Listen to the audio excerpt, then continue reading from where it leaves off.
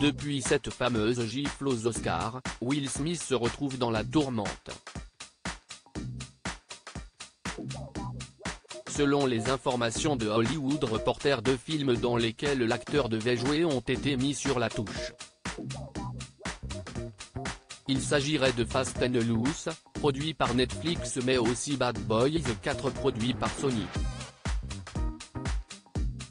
Pour le premier long métrage qui a déjà perdu son réalisateur David Leitch, CIST un vrai coup dur. Pour le second projet, actuellement en pré-production, il aurait été mis en pause, selon une source qui cesse de confier aux médias américains. Ce n'est pas le seul coup dur pour Will Smith. En effet, la plateforme Apple Television Plus qui devait diffuser un film sur fond d'esclavage, baptisé Émancipation, dans lequel l'acteur était le héros, n'a pas encore indiqué si le projet était conservé.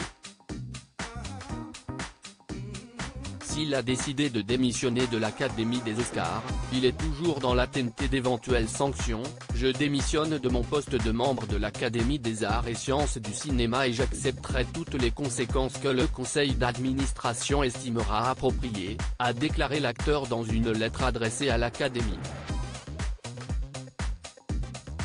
Jim Carrey, cette insulte va durer très longtemps dans le monde du cinéma, le geste colérique de Will Smith a été lourdement critiqué, à l'image de Jim Carrey, cette vidéo va être là pour toujours, elle va être omniprésente. Cette insulte va durer très longtemps. Ça a jeté un voile sur le grand moment de tout le monde, beaucoup de gens ont travaillé très dur pour arriver à cet endroit et pour avoir leur moment dans la lumière et pour obtenir leur prix pour le travail vraiment dur qu'ils l'ont fait. C'était un moment tellement égoïste qui a jeté un voile sur tout ça, a-t-il déploré. Loading Widget